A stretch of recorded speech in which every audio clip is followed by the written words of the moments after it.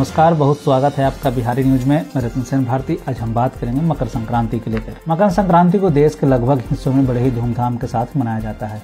इस दिन पवित्र नदियों में स्नान, दान और पूजन का विशेष महत्व है। माना जाता है कि इस दिन सूर्य दक्षिणायन से उत्तरायण होते हैं। साथ ही सूर्य धनु राशि से निकलकर मकर राशि में प्रवेश करते हैं। मकर राशि में सूर्य के प्रवेश करने के कारण ही इस दिन को मकर संक्रांति कहा जाता है। इस पर्व के साथ ही करीब एक महीने से जारी खरमास भी समाप्त हो जाती है और रुके हुए सभी शुभ कार्य शुरू हो जाते हैं। ऐसे में यह कहा जाता है कि इस साल मकर संक्रांति 14 जनवरी को है या फिर 15 जनवरी को। इस बात को लेकर असमंजन की स्थिति बनी हुई है। ऐसे में आइए जानते हैं कब है शुभ दिन।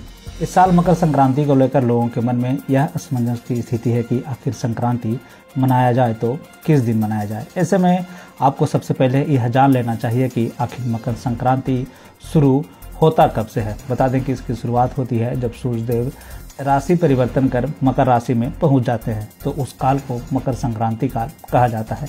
इस बार अलग अलग पंचांगों के अनुसार सूर्य का मकर राशि में प्रवेश करना की तिथि जो है वह अलग अलग दिखाया गया है। ज्योतिष और कर्मकांड के मानने वालों की माने तो सूर्य अत से पहले यदि मकर राशि में सूर्य प्रवेश करता है तो इस दिन पुण्यकाल रहेगा। अगर रात्रि में मकर राशि प्रवेश करता है तो अगले दिन पुण्यकाल माना जाता है। यानी कि 16 घटी पहले और 16 घटी बाद का समय जो होता है, वह पुण्यकाल का विशेष महत्व माना जाता है। अगर हम इस बार के मकर संक्रांति के पुण्यकाल के मुहूर्त को देखेंगे तो सूर्य संक्रांति समय में 16 घटी पहले और 16 घटी बाद का पुण्यकाल होगा। इस दिन आप स्नान, दान, जाप कर सकते हैं। मकर संक्रांति के दिन दान को महादान की श्रेणी में आंका जाता है। इस दिन किए गए दान को महापुण्य की प्राप्ति होती है। मकर संक्रांति के दिन तिल, गुड़, खिचड़ी, कंबल, घी जैसे चीज़ें ज़रूरतमंदों को दान करने से पुण्य की प्राप्ति होती है। तो ऐसे में आपके दिमाग में यह सवाल उठ रहा होगा कि इसमें विवाद कहाँ है? इसमें 15 जनवरी को मकर संक्रांति मनाने की बात कही जा रही है तो परेशानी शुरू होती है पंचांगों के अलग अलग पंचांगों में सूर्य के मकर राशि में जाने का अलग अलग समय से।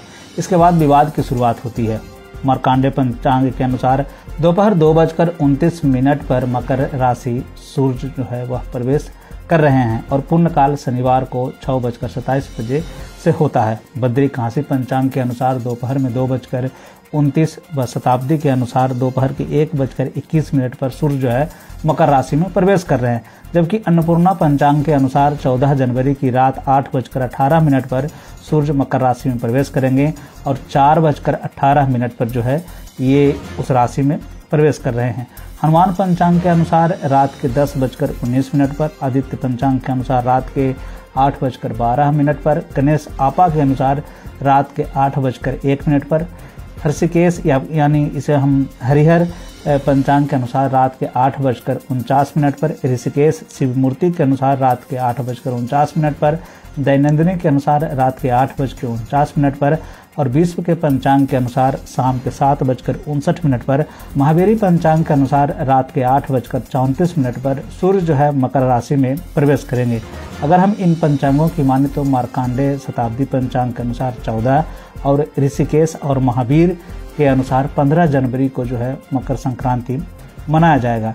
इस बार अगर हम पंचांगों के अनुसार माने तो दो अलग अलग तिथियों में मकर संक्रांति का प्रवेश हो रहा है। एक तो पंचांगों की माने तो 14 जनवरी को और दूसरी पंचांगों की माने तो 15 जनवरी को जो है सूर्य मकर राशि में प्रवेश कर रहे हैं। यही वह कारण है जिसके चलते लोगों के मन में यह शंका उत्पन्न है कि हम 15 जनवरी को मनाएँ या फिर 14 जनवरी को मनाएँ। तो इसका एक सॉल्यूशन है। ये कि अगर आप मार्कंडे पंचांग और शताब्दी पंचांग को मानते हैं तो 14 जनवरी को ये मकर संक्रांति का त्यौहार मना सकते हैं। अगर आपके यहाँ ऋषिकेश पंचांग और महावीरी पंचांग के अनुसार अगर आपका समय निर्धारित होता है तो जो है आप 15 जनवरी को इसका शुभ दिन माना जा सकता है। बिहार और बिहार से जुड़ी और भी ऐसे इन खबरों के लिए बने रहें बिहारी न्यूज़ के साथ। मुझे दीजिए इजाज़त। धन्यवाद।